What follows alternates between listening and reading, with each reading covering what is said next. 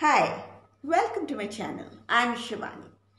I'm back with my pronunciation series and this is the ninth part. As usual, the words are very common and simple. The first word is F-L-O-W-E-R. F-L-O-W-E-R.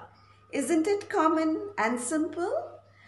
Well, as you know, it's the most beautiful part of a plant. And how's it pronounced? Flower, flower, flower. The second word is equally simple. F-L-O-U-R. F-L-O-U-R. It's the powdery substance that you get after grinding grains. Grains like wheat. The powdery substance that you get after grinding grains. And how's it pronounced? It's also pronounced as flower, flower. So you see these are homophones. They have different spellings, different meanings, but same pronunciation. The third word rhymes with these words.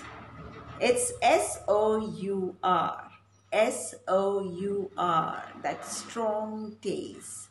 The acid taste that you find in lemons. The acid taste that you find in lemons and it's pronounced as sour, sour. So these were the three words, very simple, very easy to remember. That's all for today. But please don't go away. Are you new to my channel? Then subscribe and press the bell icon. Give it a like if you found the video useful. So see you very soon. Take care. Bye.